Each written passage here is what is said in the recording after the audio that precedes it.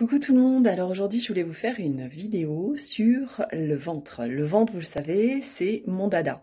C'est là où j'aime le plus travailler parce que je trouve que c'est là où tout arrive. La, nourriture, évidemment, d'où euh, une nécessité de bien se nourrir, d'avoir une bonne nutrition, sinon ben, c'est tout qui est déréglé. Mais également arrivent les émotions. Et les émotions, on en a des tonnes dans la journée, on en a plein, plein, plein.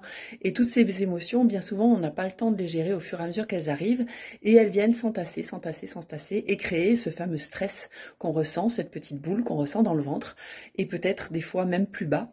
Et moi, j'aime bien travailler là-dessus parce que justement, j'arrive à débloquer toutes ces émotions, à faire ressortir tout le mal-être.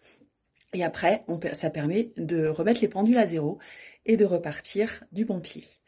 Donc voilà, je voulais vous faire ce petit aparté juste pour vous dire que le ventre, c'est pas que la nourriture, c'est aussi les émotions. Et si vous avez envie de débloquer tout ça, ben, n'hésitez pas à venir me retrouver dans mes cabinets ou à distance. À bientôt, ciao ciao